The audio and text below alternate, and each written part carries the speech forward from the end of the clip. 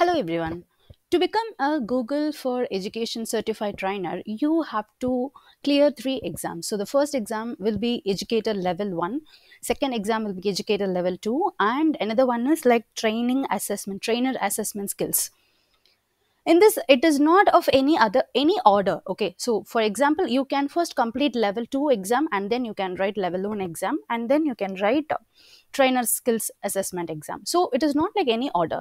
But of course, if you want to become a Google for Education certified trainer or an innovator, you can find all the programs here. This is a trainer program, this is an innovator program, and this is a coach program. So if you want to become any one of this, you have to clear these three exams educator level 1 level 2 and trainer skill assessment test so in this video i'll show you what are all the skills that you have to master if you want to write the exam before writing the exam you should check the, whether you know all these things. Even if you don't know you can learn it okay? So this is the skill set where you can find that you have to know all these things.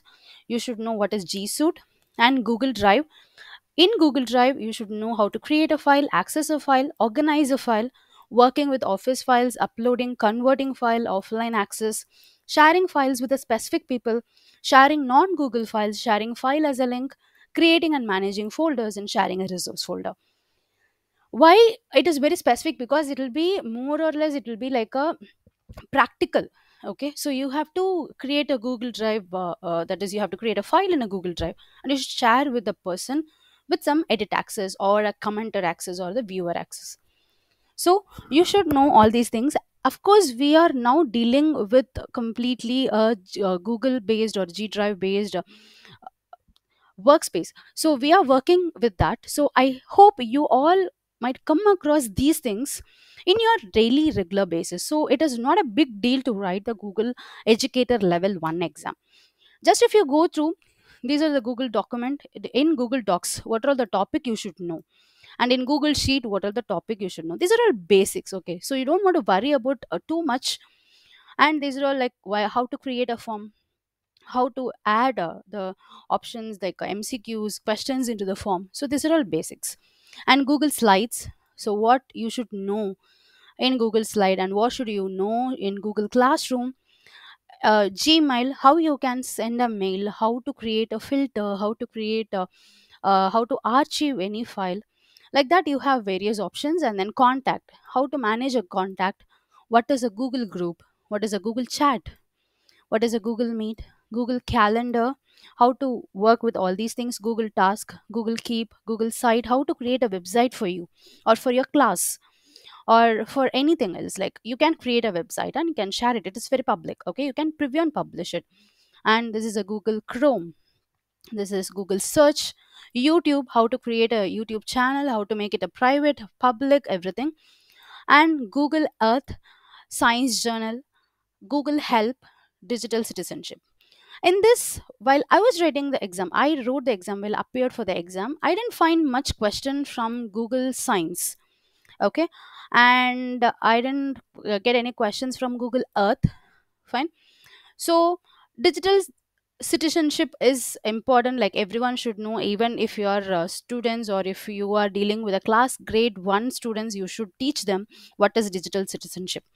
So these are all the basics for google educator level 1 exam if you want to learn all these things i can teach you everything like from the from for for example first video will be on google drive where i'll be covering all these things.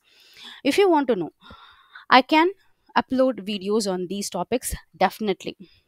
So please leave your comment. If you want to learn this you can let me know. I'll upload these videos. And uh, for google educator level 1 even if you want to uh, learn it through google itself you can do it. So this is the link where you can find educator level 1 click on the educator level 1 and this is how you can click and register for the exam. And this is 3 years validity. You have to be there for 180 minutes. That is exam is for 180 minutes and you have to pay $10 to write the exam. Of course it is very useful. So i want you all to try this and this is what the training if you click start training so it will start from the fundamentals whatever we have covered whatever i have showed there you will learn from here as well but it is everything will be in a textual manner okay? For example this is a classroom technology expand using help and learn mostly paperless classroom. So to create a quizzes google form here here you go you have all the content over here so you can just go and see what is that uh, within how many uh, minutes you can complete this lesson okay? And this is learn how to create a google form. So here it will show you like how you can create a google form and uh, uh, make it as a quiz or uh, everything. So it will be like this. If you want to learn through a video you can let me know. And there will be a scenario like this only you'll be getting in your exam. So what is the scenario and what you have to do okay? So just try try these things. If you want to know more about it let me know. In my next video i'll be posting about what are the topics you have to learn in google educator level 2 okay? And once after completing this what do you have to do. That is the next step uh, writing the training assessment skill. That also i'll be uh, telling you. And then how to apply how to mm apply for uh, the google certified trainer program. Take care. Bye bye